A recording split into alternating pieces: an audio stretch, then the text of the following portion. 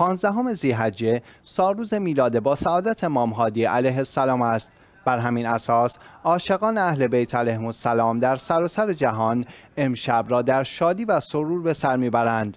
در همین حال شیعیان در مساجد حسینیه ها تکایا مراکز فرهنگی و دینی و حتی منازل خود در سراسر کره خاکی به برگزاری مجالس و محافل جشن و سرور می‌پردازند و این شب را گرامی میدارند. مراکز مرتبط با دفتر حضرت آیت الله العظما سید صادق حسینی شیرازی دامزله در شهرها و کشورهای مختلف جهان نیز مراسمی به همین مناسبت برگزار می کنند.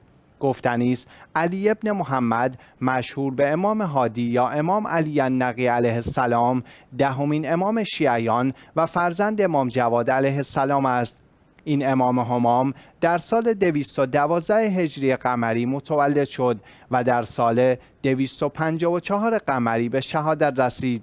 ایشان از 220 تا 254 قمری به مدت 34 سال امامت را بر عهده داشتند.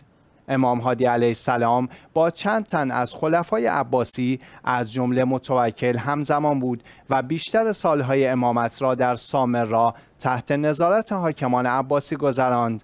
امام هادی علیه السلام به واسطه جمعی از وکیلان که سازمان وکالت خوانده می‌شد با شیعیان ارتباط داشتند.